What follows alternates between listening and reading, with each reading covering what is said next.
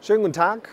Mein Name ist Arne Lietz. Ich bin der Abgeordnete für Sachsen-Anhalt im Europäischen Parlament für die SPD.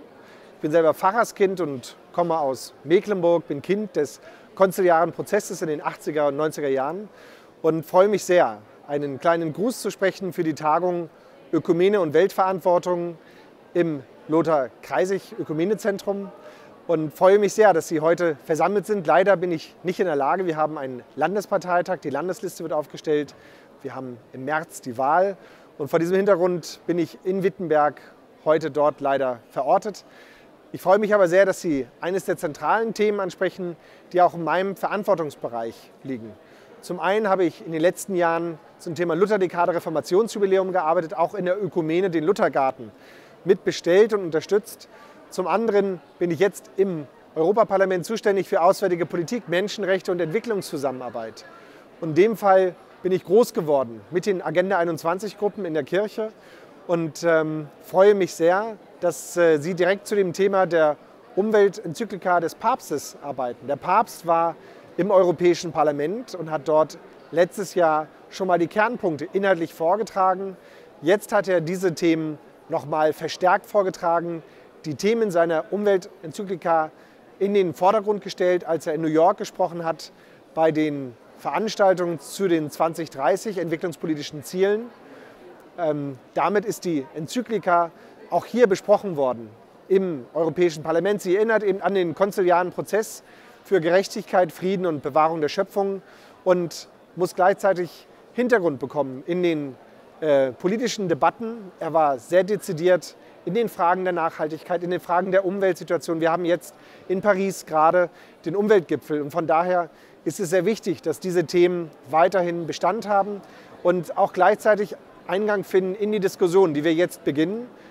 Viele von Ihnen wissen, dass in New York die äh, Millenniums-Entwicklungsziele zu den Sustainable Development Goals, also den nachhaltigen Entwicklungszielen, für das Jahr 2030 gesetzt wird. Und hier haben wir einen Prozess, den wir alle schon kennen aus der Situation der Rio-Konferenz, der Agenda 21-Gruppen.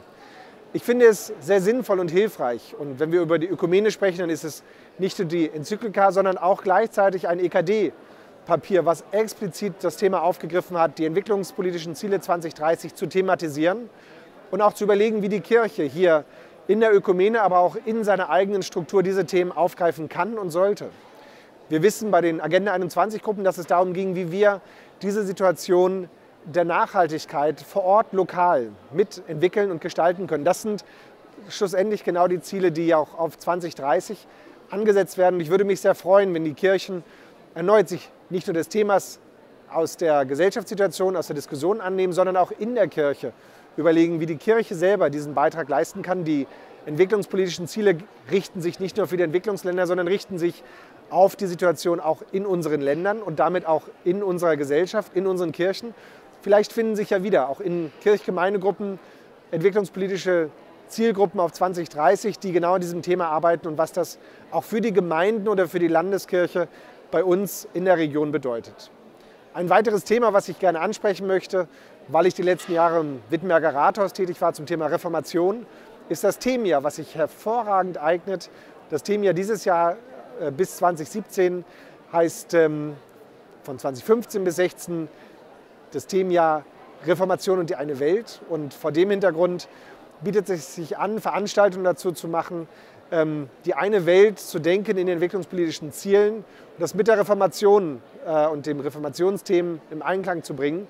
Ich freue mich auf interessierte und engagierte Veranstaltungen, ähm, was dazu auch entwickelt werden kann, auch bei uns in Mitteldeutschland wünsche Ihnen eine erfolgreiche Tagung und wünsche mir vor allen Dingen erneut ein Gespräch, auch gerne mit Ihnen äh, in der EKM. Ich hatte das Glück, Vertreter der EKD einmal hier in Brüssel willkommen zu heißen von den verschiedenen Landeskirchen, wo wir genau darüber gesprochen haben und auch das Papier der EKD damals in Brüssel vorgestellt haben. Und ähm, wenn wir miteinander in den nächsten Jahren oder auch im nächsten Jahr, vielleicht zum Themenjahr sogar, ins Gespräch kommen können in der Ökumene, wie sich diese 2030 entwicklungspolitischen Ziele bei uns durchdekliniert und mit unterstützt werden können. Ihnen eine erfolgreiche Tagung und alle besten Grüße hier aus Brüssel. Tschüss.